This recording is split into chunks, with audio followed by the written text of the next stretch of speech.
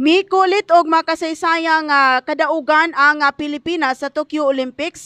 Human masungkit sa usa ka Sambuangenya weightlifter nga si Heidelin Diaz ang pinakauna og ah, gikahinamang gold medal sa nasod Pilipinas kagahapong adlaw. Nakuha sa 30 anyos nga si Diaz ang bulawanong ah, medalya Human niya nakaya pag-aswat ang mutimbang sa 127 kilos nga gibugaton sa barbell para sa iyang ikatulo o katapusang ah, left clean and ah, jerk sa Tokyo Olympics. Gilupig niya ang usa ka world champion sa China nga si Liao Qiuyun nagikan sa Kazakhstan ug usa ka record holder sa naasoy nga nasud nga niaswat usab og 126 kilos nga mao'y nakakuha sa bronze medal.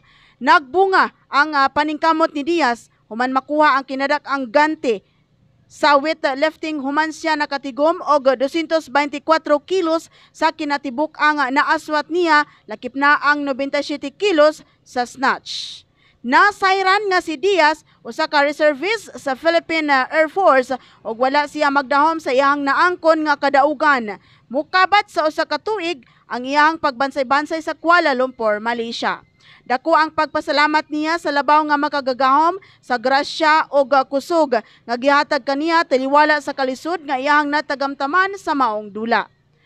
Adunay panahon matud niya nga mawad-an siya o paglaom gumikan sa mga pagsulay. Sa kasamtangan, anaa sa ika-16 nga pwesto na ang Pilipinas gikan sa kinatibuk ang 205 ka mga nasud nga miapil sa naasoy nga Olympics. Nasayran nga dili mobos sa 33 milyones ka pesos ang madawat ni Diaz sa gibitbit ni ini nga kadaugan. Subay sa Republic Act 10699, mudawat og 10 milyones ka pesos ang usa ka atletang Pinoy nga makakuha og gold sa Olympics.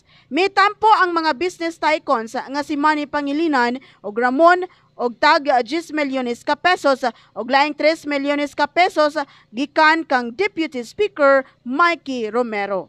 Saktong balita sa 1047 Music Best, kini si Baya Generita Burada reporting.